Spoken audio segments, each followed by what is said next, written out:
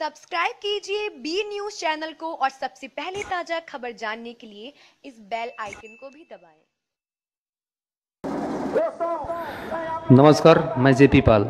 आप देख रहे हैं बी न्यूज़। आज देवरिया में अति पिछड़ा वर्ग महासंघ पार्टी ने आरक्षण को लेकर विशाल रैली निकाली, जिसकी अध्यक्षता कर रहे राष्ट्र अध्यक्ष अमरनाथ पाल। और राष्ट्र प्रमुख रमाशंकर चौहान दयाशंकर पाल आशीष कुमार चौहान राम अवतार खरबार दीनानाथ पाल रामाश्रय धनगर रामू शर्मा रहे। आइए देखते हैं राष्ट्र अध्यक्ष अमरनाथ पाल क्या कहते हैं। अगुवाई की और इनके नेतृत्व में यह रैली निकाली गई। आइए देखते हैं इनसे। ये रैली का आखिर आह्वान है क्या? अब क्यों रैली इस देश में आरक्षण की चर्चा चली यानी जब यहाँ काका कालेलकर आयोग बना, तब से इस देश में 27 फ़ीसदी जो आरक्षण है ओबीसी का, उसको तीन वर्गों में बांटने की चर्चा चलती चली आ रही है। और इसके लिए इस देश में कई आयोग भी बने जिन्होंने ये संस्तुति दिया है कि ये आरक्षण तीन वर्गों में होना चाहिए ताकि इसके असली हकदारों को इसका लाभ मिल सके। लेकिन ये सरकारें, जो गुलबंद लोगों की सरकारें हैं, जैसे सपा हमारे उत्तर प्रदेश में यादवों की गुलबंद पार्टी है। और जब वो सरकार में आते हैं तो सारा वो आरक्षण का लाभ अपने भाइयों को देना चाहते हैं और देते हैं। हम इसकी मुखालफत करते हैं। और वही काम बहन मायावती करते हैं, हम उनकी भी मुखालफत करते हैं कि वो दलित और गरीबों की बात करती हैं। लेकिन जब उन सत्ता में आते हैं तो केवल अपने जाति के लोगों को देखती हैं। और नीचे से लेकर ऊपर तक वह चमार भाइयों, धुसिया और जाटुओं को स्थापित करने का काम करती हैं। ये समाज ने देख लिया है और इन पार्टियों ने सिद्ध कर दिया है।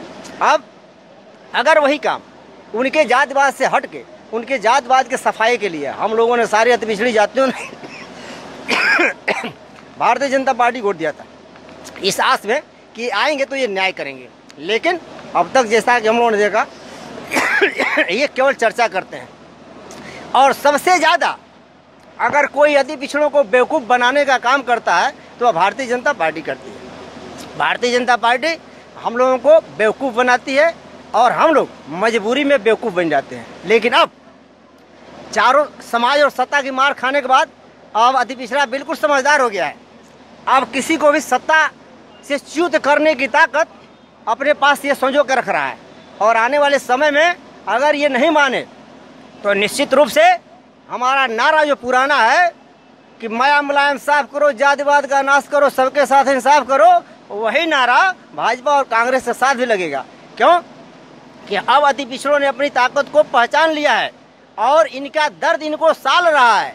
इसलिए हम लोग अब ये नारा देने जा रहे हैं और वह दिन दूर नहीं, जब अति पिछड़ों का राज होने वाला है इस देश में, अभी हम चेतावनी दे रहे हैं।